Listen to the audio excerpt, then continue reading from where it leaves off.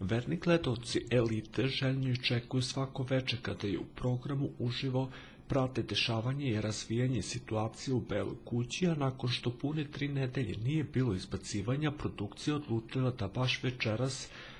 zapiberi čorbu i u regularnu programsku šemu vrati izbacivanje iz realitija. Kako su u noći iza nas održane nominacije, po broju glasova ukućena prva nominovana za izbacivanje Anita Stanolović, prema kojoj većina ukućana uopšte nije krila hejt, dok je zbog najmanjeg broja glasova publike druga nominovana Marijana Špirić. Marijana i Anita su se iste noći preselile u izolaciju, a večeras će jedno od njih dve zaobek napustiti Belu kuću.